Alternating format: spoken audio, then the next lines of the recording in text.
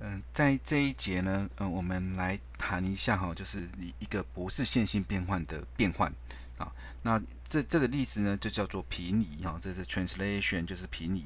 好，那平移为什么不是线性变换呢？哈，其实我们用一个例子来看哈，就这里的 A，例如说我们假设叫做一二好了，好，那就是说它把所有点这样往左一格，往上两格。好，所以现在如果今天有一个 V，有一个 X。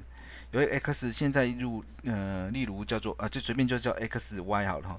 有一个点叫 x y，那我现在 l 把 x y 就印到哪边呢？就印成 x 加一，然后呢 y 加二。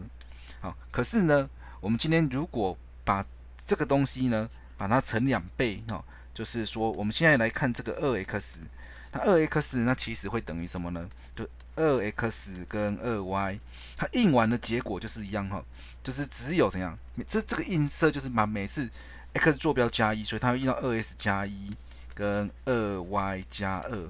好，但其实它并不等于什么呢？并不是会，并不等于两倍的 x 加一啊 y 加二。好，所以我们就知道它不是哈。